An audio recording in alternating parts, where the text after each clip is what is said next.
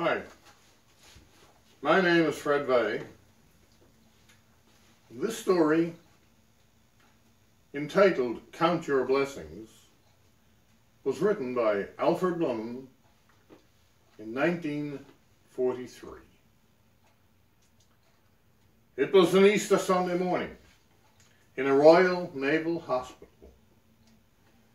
No one seemed to realize it until 11 a.m. when the priest entered the ward and asked me if I could have all patients who could attend service assemble in the chapel adjoining the building. I did as I was asked. And as I watched the parade of the blind and the crippled boys on their way to the chapel, my heart sank within me.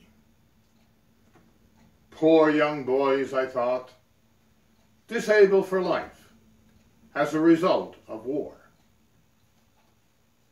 I had them seated, one by one, and sat opposite the priest, facing the patients with all the sympathy that one could possess.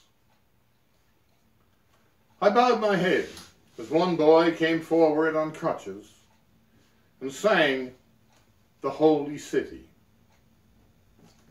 Another knelt and thanked God that his life had been spared and he wouldn't be needed to fight anymore. He didn't raise his arms in prayer because he had no arms. When the service was over, I had the boys taken back to the ward and was a feeling as never before.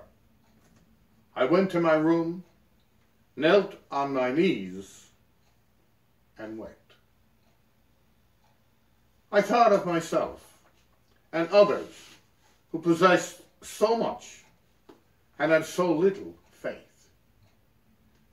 And those poor boys who possessed so little and yet had so great a faith. It was then I realized how much I had to thank God for.